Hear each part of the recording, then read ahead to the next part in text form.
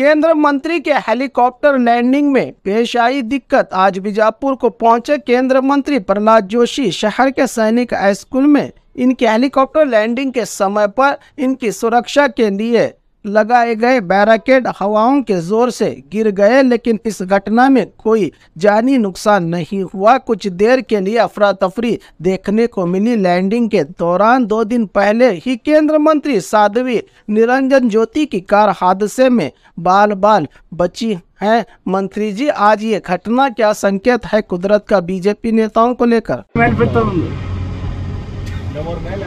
Hello ಆ ಪುರಿ ಈ ಗಾಡಿ ಸ್ವಲ್ಪ ದೂರ ಇರ್ತದೆ ಉಳಿತದ. ಎರಡು ಸ್ಕ್ರಾಚ್ ಆದ ಗಾಡಿ. ಇಲ್ಲ. ಏ ಬಿಸ್ತ್ರಿ. ಗಾಡಿ ಬರ್ತೀನಿ ಸರ್.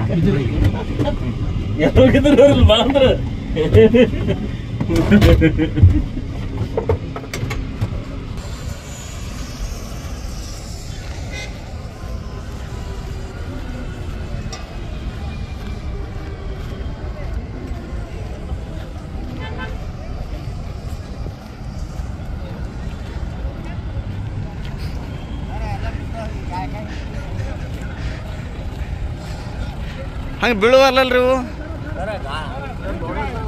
ಹೌದು.